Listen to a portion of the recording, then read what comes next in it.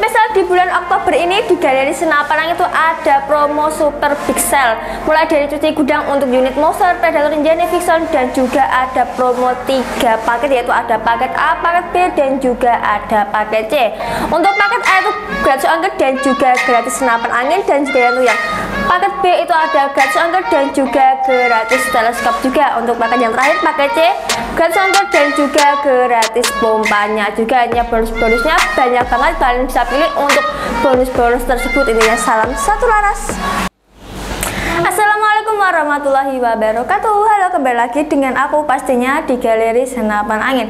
Di sini saya akan mengulas berbagai hal yang berkaitan dengan senapan angin. Di antara itu ada review jasa posisi gudang dan juga ada rekomendasi untuk senapan angin juga. Dan untuk di video kali ini saya akan merekomendasikan untuk dua senapan efek yang ada di belakang saya ini. Nanti kita akan ulas untuk spek-spek dua senapan angin ini.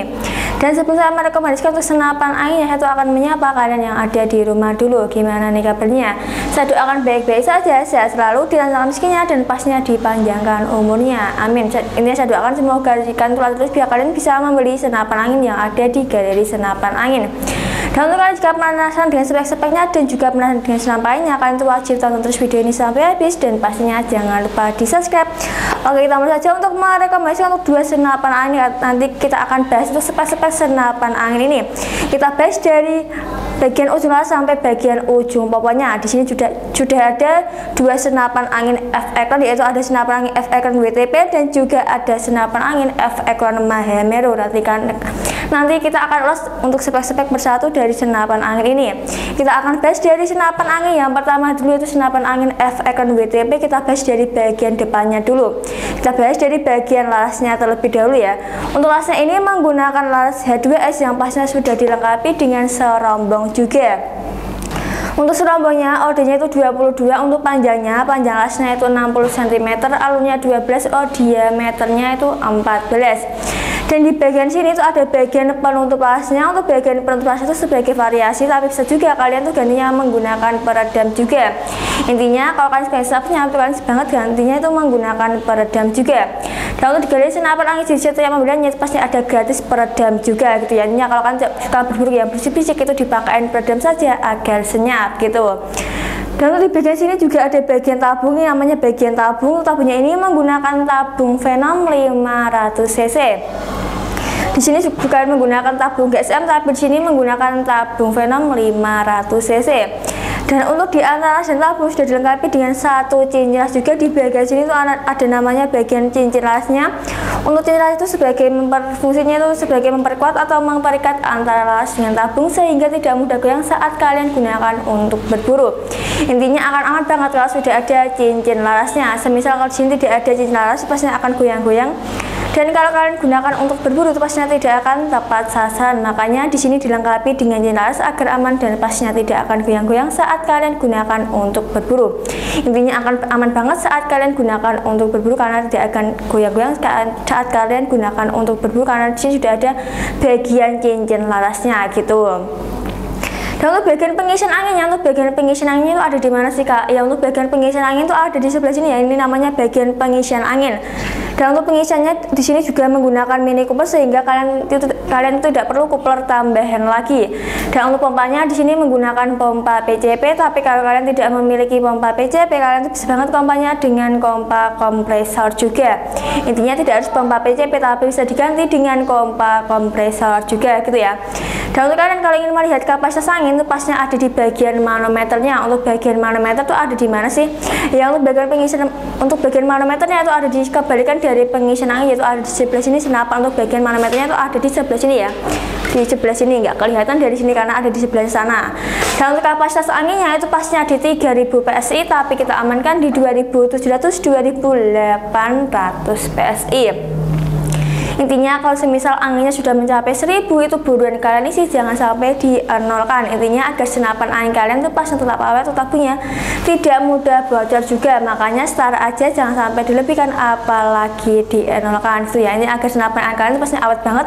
Untuk punya tidak mudah bocor juga. Makanya kalau bisa setara aja gitu Oke kita lanjut bahas ke bagian tengahnya. Di bagian tengah sini ada bagian chambernya. Untuk chambernya ini menggunakan chamber dual seri 6 semi CNC untuk senapan angin F Ekron WTP ini masih menggunakan yang namanya seri 6 atau semi CNC dan untuk di bagian atasnya chamber di bagian sini itu ada bagian remounting atau penaruh teleskopnya. Intinya kalau kalian menaruh teleskop itu pastinya ada di bagian atasnya chamber ada di sebelah sini ya. Dan untuk bagian pengisian pun untuk pengisiannya itu ada di bagian tengah-tengah chamber ada di bagian sini. Intinya setiap pengisian angin itu pastinya ada di tengah-tengahnya chamber ya. Dan untuk pengisiannya itu ada dua pengisian. Ada juga itu yang satu pengisian tapi untuk senapan angin F Ekron WTP ini ada dua pengisian itu ada magazine dan juga ada single shootnya intinya mudah banget untuk diatur dengan sesuai selera kan karena ada dua pengisian yaitu ada magazine dan juga ada single shoot. Intinya kalau misal kalian suka yang magazine bisa diisi dengan magazine. Kalau tidak suka yang magazine bisa diganti dengan single shoot aja karena mudah banget. Untuk diatur dengan sesuai selera kalian karena ada dua pengisian yaitu ada magazine dan juga ada single shootnya gitu untuk bagian sampingnya chamber di bagian sini itu ada bagian tarikan. Tarikannya ini menggunakan tarikan yang modern atau tarikan seat lever. Bukan lagi menggunakan tarikan barrel tapi di sini sudah menggunakan tarikan seat lever jadi namanya tarikan seat lever. Sehingga itu lebih mudah banget dan pasti enteng banget saat kalian gunakan untuk berburu karena di sini sudah menggunakan namanya itu tarikan seat lever gitu. Dan untuk bagian belakangnya chamber di bagian sini itu ada bagian setelan power. Bagian setelan powernya ini bisa kalian putar ke kiri untuk small game dan juga ke kanan big game atau yang bikin itu untuk bulan besar semisal kayak baby, biawak dan lain sebagainya. Intinya bulan-bulan besar yang berkaki empat. Kalau yang small game itu baru yang bulan kecil semisal kayak burung, tupai dan lain sebagainya juga. Intinya kalau kalian menggunakan stand power itu jangan sampai kebalik. Yang big game yang besar dan small game itu yang kecil gitu ya. Lalu di bagian bawahnya sini itu ada bagian trigger. Triggernya ini sudah menggunakan trigger mag ya, trigger modern itu trigger mag karena di senapan angin itu ada dua trigger itu ada trigger klasik dan juga ada trigger mag. Tapi kalau di senapan ini sudah menggunakan namanya itu trigger mag ya atau trigger yang modern. Dan untuk di bagian atas trigger itu ada bagian safety trigger atau pengaman picunya. Di bagian sini itu ada bagian pengaman picunya ya atau safety triggernya untuk untuk safety triggernya atau fungsinya itu sebagai pengaman untuk senapan angin ini agar tidak dipakai sembarang orang. Semisal kalau senapan angin ini dipakai anak-anak itu akan bahaya banget karena senapan angin ini bukan mainan. Makanya kalau kan tidak lagi gunakan senapan angin ini amankan saja dengan memencet pengaman picu atau safety triggernya saja ini agar aman dan pasti tidak dipakai untuk sembarang orang gitu. Tadi sudah kita bahas spek-spek senapan angin yang bagian depan kita bahas ke bagian belakangnya itu bagian popornya untuk popornya ini menggunakan popor tombol atau popor klasik yang terbuat dari bahan kayu mauni sehingga lebih awet dan pasnya tidak mudah patah juga. Intinya akan awet banget karena pembuatannya dari bahan kayu mauni ya.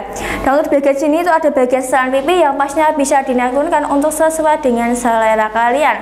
Jika kalian ingin yang lebih tinggi bisa di atasnya saja. Kalau yang lebih tinggi bisa diturunkan saja. Yang mudah banget untuk diatur dengan sesuai selera kalian karena bisa diataskan dan bisa diturunkan juga.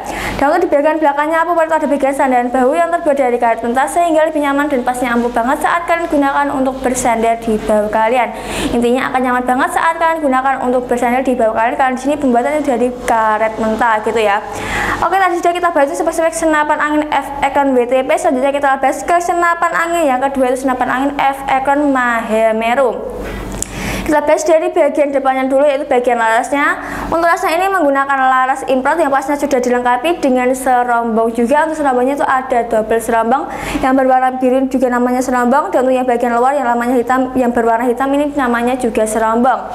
Untuk serombongnya ordernya itu 22 untuk panjang larasnya panjangnya itu 60 cm, alunya 12, oh diameternya 14 dan di bagian ujungnya las ada bagian penutup lasnya ya. Di bagian sini itu ada bagian penutup las seperti ini. Tapi ini tidak ada penutup lasnya intinya di setiap ujung las pastinya ada bagian penutup lasnya semua. Untuk penutup las itu sebagai variasi tapi bisa juga kalian tuh gantinya menggunakan peredam juga.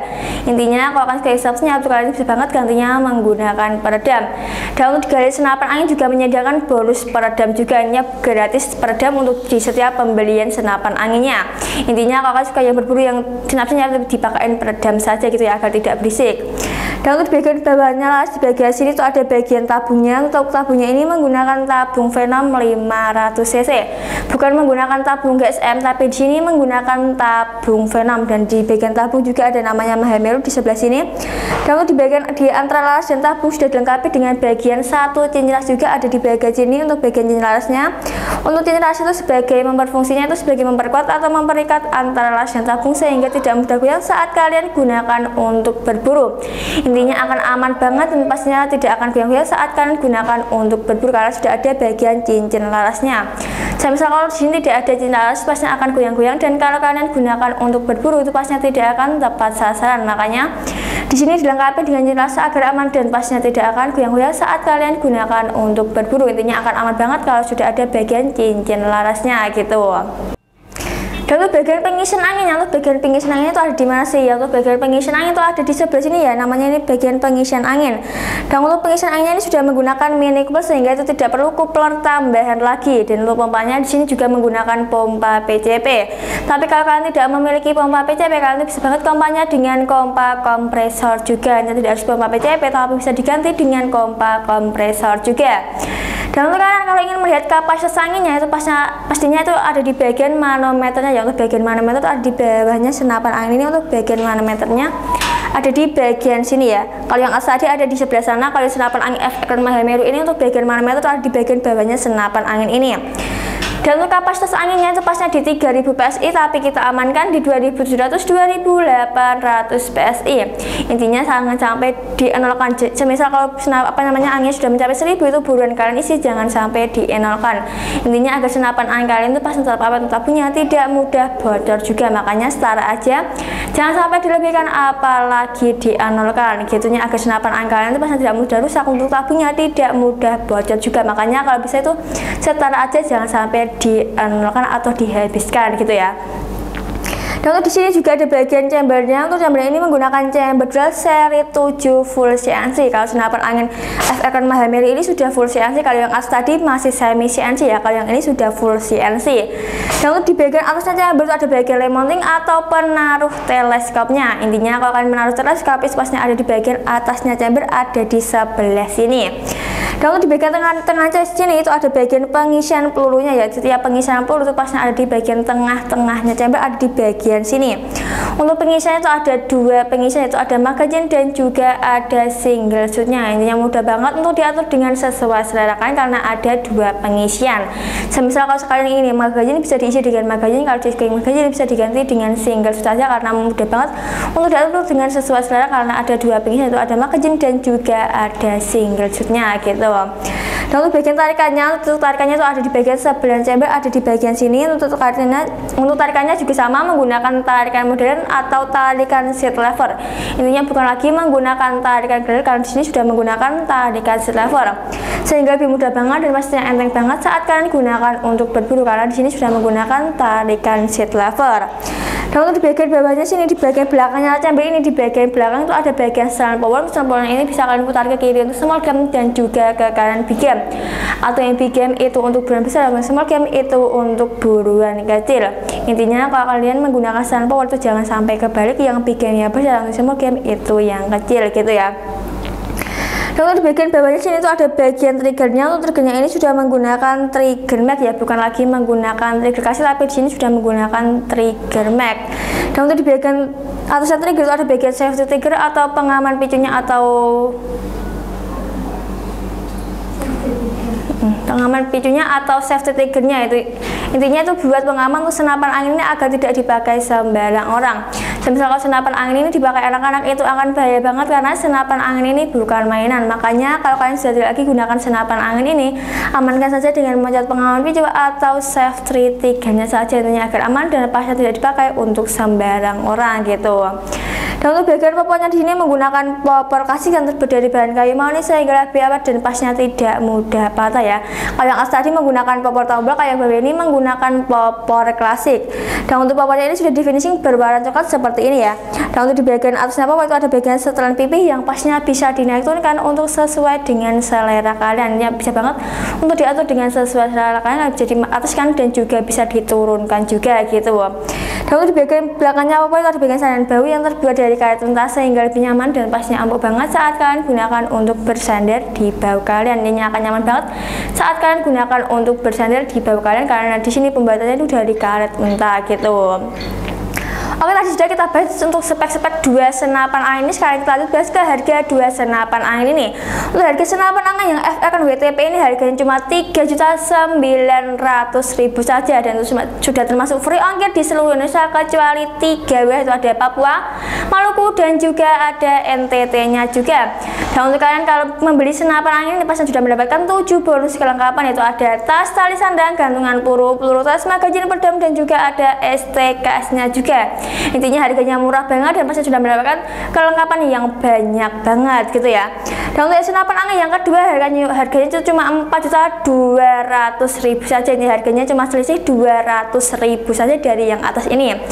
Dan itu sudah masuk free angker juga yaitu di seluruh Indonesia kecuali tiga yaitu ada Papua, Maluku dan juga ada NTT untuk bonus-bonusnya juga sama ada tas tali sandal gantungan peluru-peluru tas magazin peredam dan juga ada STKS nya juga. Nantinya harganya murah banget dan kalian sudah mendapatkan senapan angin yang bagus ini dan pasnya mantap banget. Dan untuk bonus-bonusnya juga banyak banget. Ini cepat-cepat di order jangan sampai kehabisan untuk senapan anginnya karena harganya itu yang murah banget. Dan sudah mendapatkan fasilitas yang banyak banget atau bonus-bonusnya gitu ya. Dan untuk di bulan Oktober ini di galeri senapan angin itu juga menyediakan tiga promo. Itu ada prom ada tiga promo ya. Artinya itu ada paket A paket B dan juga ada paket C untuk promo-promonya. Untuk paket A itu ada free angkat dan juga free senapan angin. Intinya senapan angin itu ada dua varian yaitu ada Saf AC dan juga ada Saf Innova. Intinya kalian bisa pilih itu salah satu senapan angin tersebut dan untuk yang paket B itu ada free angker dan juga free telenya untuk yang paket C itu ada free angker dan juga free pompanya. Intinya kalian kalian bisa pilih untuk salah satu bonus tersebut. Dan untuk kalian kalau minat dengan senapan angin kalian wajib hubungi nomor yang ada di bawah ini saja. Kalau tidak di bawah ini hubungi nomor admin saja. Untuk cara pembayaran di sini ada dua cara. Itu ada cara COD dan juga cara transfer atau bayar di tempat. Untuk saat COD pastinya gampang banget kalian bisa kirim foto KTP sesuai dengan alamat anda jika kalian tidak mengirim foto KTP, kalian bisa dikenakan DP sebesar 100 ribu saja untuk tanda jadi keseriusan Anda. Dan untuk transfer kalian bisa hubungi nomor yang ada di link deskripsi aja. Oke, itu sedikit rekomendasi dari saya. Jika kalian suka dengan videonya, jangan lupa di like untuk ketinggalan saya bisa tulis di kolom komentar di bawah ini. Saya Dea pamit undur diri. Wassalamualaikum warahmatullahi wabarakatuh. Dadah.